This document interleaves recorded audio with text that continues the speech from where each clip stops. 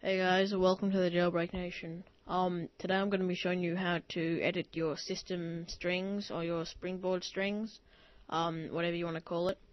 But if you don't know what uh, springboard strings are, it allows you to change the notifications that pop up, like um, battery is is 20% and everything like that. You can change that to whatever you want. And here you see my slide to unlock down here. Instead of saying slide to unlock, it says TJN for the Jailbreak Nation. So um, today I'm going to be showing you how to get the application to do it, and then how to get it, how to um, edit your strings from the application. So we want to unlock. We want to open up Cydia. And I'm just going to come back when Cydia loads. Alright guys, so Cydia has loaded. Now, um, the package that we want to install is our paid package. It costs $4 in the Cydia store. Um, it does come with a trial, I think, which has ads in it, um, or notifications every now and then telling you to either donate to the uh, developer or pay for the application. There are ways of getting it for free, but I'm not gonna go into that because copyright issues. So, um, what we want, what we want to do, we want to go to search. We want to search for the package i file, all one word, just i then file. Now here I do have the um, paid version here, which I have ticked, and then above that, in a source that I have added, there's a cracked version. I'm not going to go anywhere near that. Um, I don't like to get stuff illegally, so when I open up the paid version, the proper iFile from the developer. Now, um, it's going to say it costs four bucks, but you can install it free of charge. See, commercial app plus free trial right there. So, what you want to do in the top right corner here, where mine says modify, yours is going to say install if you don't have it already. You want to click on that and then go confirm and um, let Cydia do its thing. So I'll just get out of this. Now here's the application in the bottom right corner here. It's called iFile, as the package was called.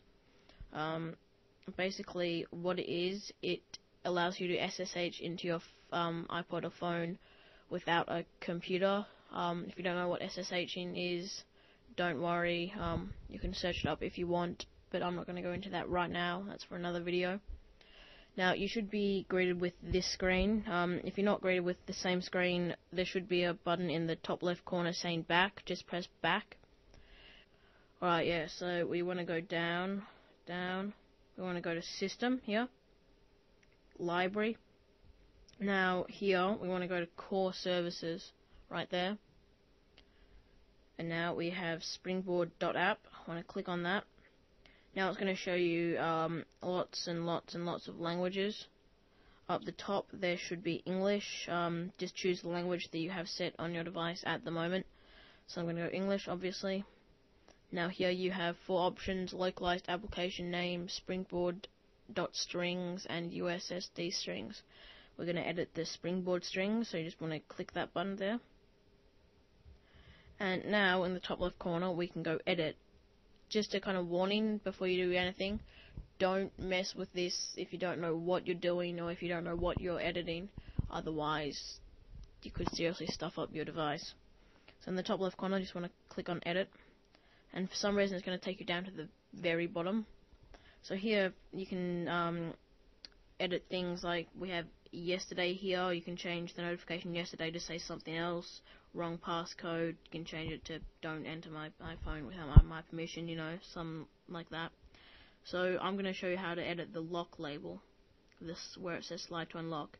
You're going to scroll up all the way to the top as I'm doing right now.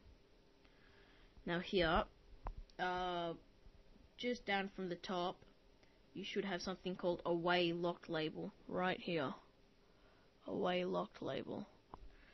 So that's the thing that you want to edit. Now here when mine says TJN, that's what I put in.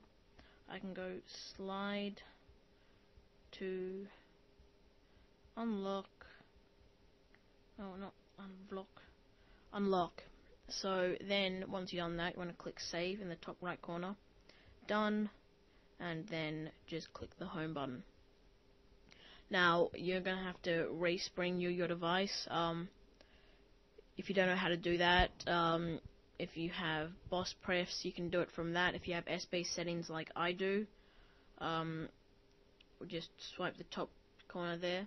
Um, I'm gonna have a video on this application here very soon, but you just want to click respring here where it says respring, and I'm gonna come back when that is done.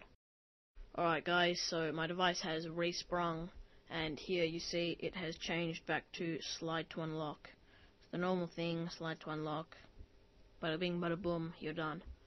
So uh, thanks for watching guys, don't forget to comment, rate, subscribe. Um, when I get to 100 subscribers I'm going to be giving away uh, um, iSkin Vibes case for the iPod Touch second generation, so subscribe to get into that. Um, everyone's going to be entered. So, uh, thanks guys, thanks for watching, comment, rate, subscribe as I said before, and peace.